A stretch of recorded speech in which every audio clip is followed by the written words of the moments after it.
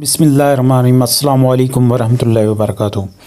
नाजरीन, आज हम इस वीडियो में आपको बताएँगे कि आप इसब गोल का छिलका कैसे इस्तेमाल कर सकते हैं। अक्सर लोग ये समझते हैं कि इसब गोल का छिलका जो है सिर्फ़ कब्ज़ के लिए इस्तेमाल किया जाता है। हालाँकि ये मोटापे को ख़त्म करता है।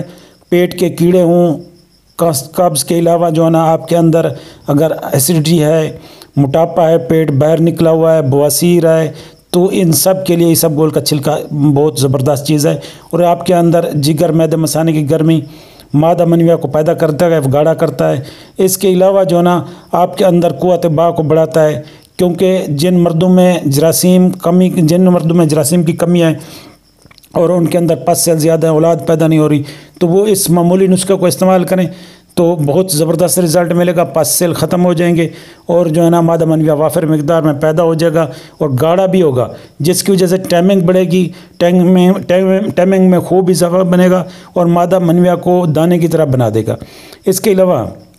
जिनके अंदर जिगर में गर्मी है, जोफ़ है सफरा है, यरकान है, हेपेटाइटिस बी सी है और जो है ना, मैदे में गर्मी है मसाने में गर्मी है, ये इसको इस्तेमाल करें। इस्तेमाल का तरीका मैं आपको बताऊँगा, लेकिन इससे पहले कि हम अपने टॉपिक को मुकम्मल करें, आपसे गुजारिश है कि हमारे चैनल को सब्सक्राइब करें और वीडियो को लाइक करें और नीचे कमेंट्स करें।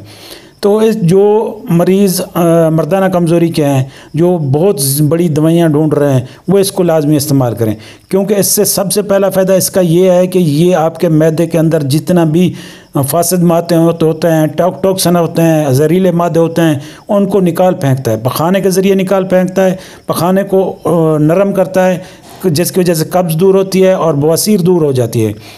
बवासीर एक ऐसी मौजी मर्ज है जिसे, जिससे अगर हो हो जाए, जिस बंदे को अगर हो जाए तो वो बहुत परेशान होता है, दर्द होता है और टें बड़ी टेंशन में होता है। अगर इस सबको गोल के, छिलके को तरीके से इस्तेमाल किया जाए तो ये कॉन्स्टिपेशन कब्ज़ को दूर करेगा और बवासीर के दर्द को ख़त्म करेगा और आपके पेट के अंदर जो कीड़े हैं, उनको ख़त्म करेगा। इसके अलावा आपके मोटापे को बिल्कुल कम कर देगा, आपके अंदर फासद, मादे, फैटी, लेवर वगैरह, वो कम करेगा और लीवर को सही तरीके फाल करेगा। न्यू खून बनाएगा और आपके अंदर अगर जैनी टेंशन है, डिप्रेशन है, ब्लड प्रेशर है, और अगर किसी किस्म का कोई कोई कोलेस्ट्रोल है, जिसम के अंदर कोई फासद मादे हैं तो बिल्कुल इसको ख़त्म करेगा, रिमूव करेगा। लेकिन इसका तरीक़ाकार खाने का यह है कि आपने ऐसा करना है कि सब गोल का छिलका अगर सिर्फ़ कब्ज़ के लिए और मोटापे के लिए इस्तेमाल करना चाहते हैं तो आपने दो चम्मच सब गोल का छिलका और दो चम्मच जैतून का तेल आपने मिक्स करके रात को खाना खाने के तकरीबन डेढ़ दो घंटे बाद आपने खा लेना है। और ऊपर से नीम, गर्म दूध, गाय का इस्तेमाल करना है।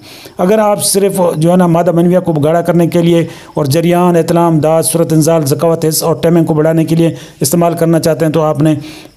ऐसा करना कि दो से तीन चम्मच बड़ों के लिए जो ओवर एज हैं, जो नौजवान है, सिर्फ़ दो चम्मच रात को पानी में भगो दें और उसमें जो है ना मीठा मीठा कोई भी आप मिला सकते हैं, चाहे मिश्री है, शक्कर है या गुड़ है, आप कोई भी उसी वक्त आपने डाल देना है और रात को रख देना है। सुबह नार मुँह ये एक जेली की शक्ल में आपको मिलेगा, इसको आपने खा लेना है चम्मच से और अगर पानी बच जाए तो उसको ऊपर पानी पी लेना है। इससे ये क्या होगा कि आपके अंदर जो पेट के कीड़े हैं वो ख़त्म हो जाएँगे और पखाने के ज़रिए दूर हो जाएँगे, कब्ज़ भी दूर हो जाएगी जाएगी और जो है ना आपके अंदर फासद मादे वो भी ख़त्म हो जाएँगे और आपके अंदर जो पेट की ख़राबी है, एसिडिटी है, आपके अंदर अफारा है और वो भी ख़त्म हो जाएगा, आपके अंदर रीबादी ख़त्म हो जाएगी। लेकिन एक बात का ख्याल रखना है, जिनके अंदर बदहज़मी है, वो इसको कम न इस्तेमाल करें, क्योंकि इसमें फ़ाइबर है और फाइबर जो है ना भूख नहीं लगने देता और जो जिनके अंदर मोटापा ज़्यादा है, वो इसको लाजमी इस्तेमाल करें, क्योंकि ये काफ़ी देर तक भूख नहीं लगने देता। इसमें फ़ाइबर है, काफ़ी मकदार में फ़ाइबर है, जो आपकी कब्ज़ को दूर करेगा, आपके पखाने को लंबा कर देगा,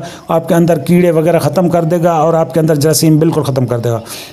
आपके जिगर मैदे मसाने को बिल्कुल ठंडा कर देगा, आपके अंदर वाफिर मकदार में मादा पैदा करेगा और आपके अंदर ताकत देगा। और अगर किसी भी बीमारी है जो आपके अंदर, आपको जल्दी लग जाती है, आपको बगला में या आपका इम्यून सिस्टम कमज़ोर है, आपको आपके अंदर कुत मुदाफ़ पैदा करेगा, सास कम तरीका अगर शिकार है तो उसको दूर करेगा, आपके अंदर एक इम्यून सिस्टम को ऐसा बिल्ड करेगा कि कोई भी बीमारी, कोई भी वायरस आपके करीब नहीं भटक सकेगी। बहुत अच्छा ज़बरदस्त ये इलाज है, इसको आप इस्तेमाल करें। जिस तरीके से मैंने बताया, अगर आप मोटापे के लिए इस्तेमाल करना चाहते हैं और कब्ज़ के लिए तो आपने इसी तरीके से इस्तेमाल करना है कि आपने जैतून के तेल में मिलाना है। और अगर आप सिर्फ़ और सिर्फ़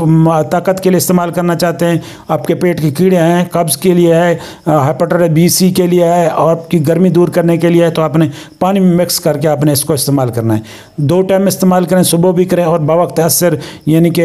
जिस वक्त कुछ पेट खाली हो, उस वक्त भी आप इस्तेमाल कर सकते हैं। इसको आप खाने के बाद भी इस्तेमाल कर सकते हैं। और जो कुत बा के लिए इस्तेमाल करना चाहते हैं, जिनके अंदर इंतज़ार की कमी है, जिनके अंदर ताकत की कमी है, पट्टे कमज़ोर हैं, कमर में दर्द है तो वो इसको नीम गर्म दूध में डालें। नीम गर्म दूध में डाल के तकरीबन दस मिनट बाद आप इसमें जो ना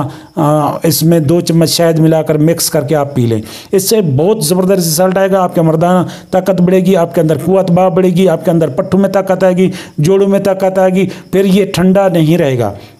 क्योंकि ये वैसे